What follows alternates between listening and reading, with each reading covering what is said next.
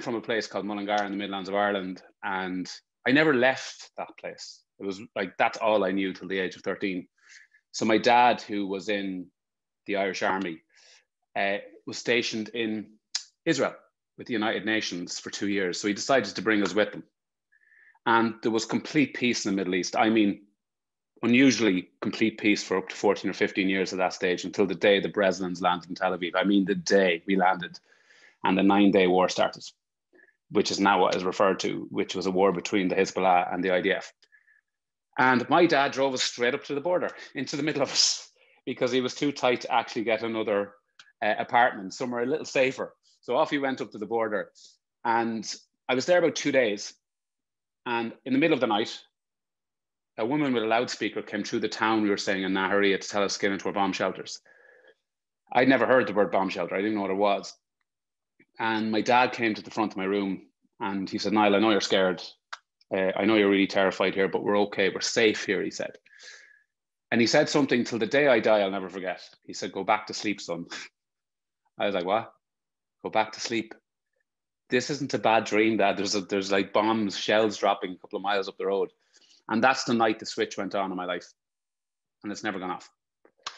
And I came home from Israel and I was a different child. I was a completely removed child. And I was a very social child. I loved kind of being out and about. And something happened, something clicked inside me. And my mum had a book that most Irish mothers had in the 90s, uh, not the Bible, but the Encyclopedia of Health. And it had every disease known to man and woman in that book. And on a Monday, I'd look at the book and I'd have appendicitis. Tuesday, I would have cancer. Wednesday, I would be pregnant. I literally talk myself into every disease in that book. That's how good anxiety is. It can turn the most irrational stuff into rational thought.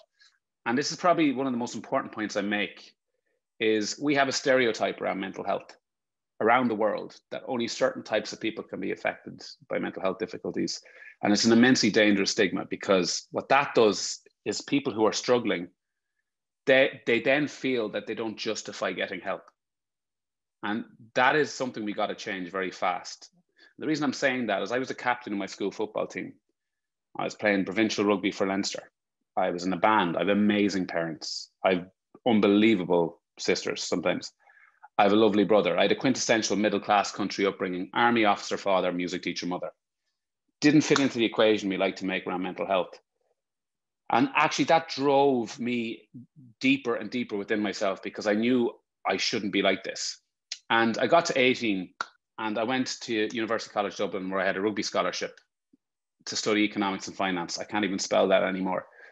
and my first day in UCD, about 600 people came out of a lecture theatre in one go. And like I didn't even realize that much makeup existed. It was like Brown Thomas exploding or, you know, Harrods exploding in front of me. And I went straight down the middle of everybody, down to, if you can picture them, the, the rugby jock, six foot six, 18 and a half stone, running down to the toilet and stayed there for six hours and had a panic attack and dropped out of college because I couldn't function. I literally couldn't function. And I did what most people do and what culture tells us to do when, you know, something like this happens, when, when we're hit by a wall, culture tells us to set goals. Just be better versions of yourself. And we're running around ragged, trying to set goals all the time, believing that that is where our happiness lies. And I'm here to make the argument that, is not where your happiness lies. And goals are really important to give you, you know, purpose and north star. They're really important. The problem is we've created a modern culture that only values them. And at that point in my life, at 21 years of age, I decided that the only way I could get better is through setting a goal. So I made the goal to be the, the Irish under 21s rugby team and captain for the World Cup in Sydney. And I did. And I went down to Sydney. And all that went through my head is who are they going to put me in a room with? who are they going to put me in a room with? Because I couldn't hide this. You know, I couldn't hide this in a room at three or four in the morning. And right enough, I had a panic attack first night and I ended up sleeping in the balcony for five weeks in Sydney and telling my roommate that the room was too hot. And here's the thing my roommate, who went on to win senior medals with Ireland, Six Nations, uh, you know, championships, Heineken Cup medals, rang me three years ago to say in Sydney he was going through the same if we're going to change anything on mental health, we can have all the theory we want, we can have all the kind of social narrative around it. It's peer to peer social support is one of the most effective forms of therapy. The research tells us that, the psychology tells us that. the ability to turn to peers and colleagues and friends and not to be judged. If you can get there, if you can get there, everything else starts to open up. It is such a crucial part of this conversation. Imagine how different that five weeks would have been if I knew he was going through that and he knew what I was going through. When he was walking around Sydney at four in the morning and I just thought he was nervous and I was sleeping in the Bluey balcony. And I came back from Australia and I was the only player in that squad who was offered a full time professional contract with Leinster. And the media like to tell you this is a weakness. I hadn't slept in five weeks. I was barely eating and I was still getting professional contracts because I, believe it or not, the toughest people on earth are people who struggle with their minds. They have to be. They're the most resilient. And I shouldn't have signed that contract because I was really unwell. And at this point was my the beginning of my journey with my clinical depression, which ultimately led me on a, a pretty serious journey with my mental health. And clinical depression, it's very important we can't have a conversation around this, isn't a bad day the only way I can describe what it felt like to me was a constant quest for feeling, to feel anything, bad or good, just something. After three years with Leinster, I, I just couldn't do it anymore. I just broke. I couldn't do it. And I went up to my coach and said, I'm retiring. And he said, You have a year left in your contract. And he says, Why are you retiring? And I told him I hated rugby. It, I, I, I felt that was a safer thing to say than I'm in absolute agony and I haven't been able to function for three years. And I still couldn't say that even though I was leaving. And my biggest regret with that was that two players I played with since then died of suicide. And I feel I could have been the person that didn't save them. I don't feel guilty about it. I just feel regret that I didn't say something. I didn't start the conversation because I knew I wasn't on my own and I still am not So, two weeks after this breakdown, and I suppose really huge help from the NHS, I got offered a new job as a coach on the TV show The Voice. I, I told you the story was eclectic.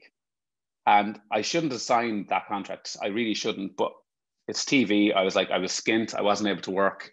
They were flying me home every day, every every week. So I did it. And all that went through my head is you're going to have a panic attack on live television.